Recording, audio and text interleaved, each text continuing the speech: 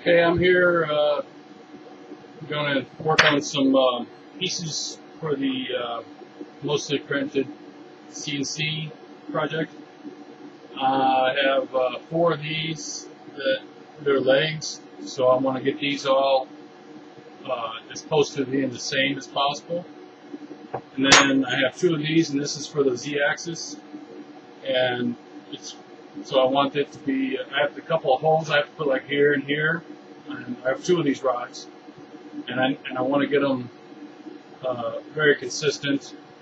Probably doesn't need to be perfect, but that's what I'm going to try to do. These these I think need to be as, as perfect as I can get them. Uh, they don't have to be exactly three and a half inches, but they need to be the same so that they uh, have a, a level uh, a level work plane. So that's the plan. I got these pieces here. These are going to be the top part of my clamps, and these are going to be my bottoms. That's the plan. So I just got to get it all mounted.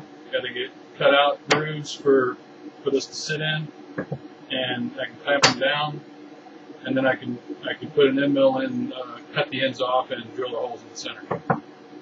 So more when I get there.